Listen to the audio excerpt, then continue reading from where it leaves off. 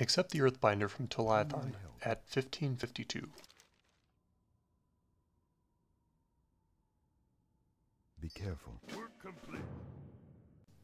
Turn in the quest to Earthbinder Galandria Nightbreeze, who will be standing on top of a nearby hill. Goddess bless you.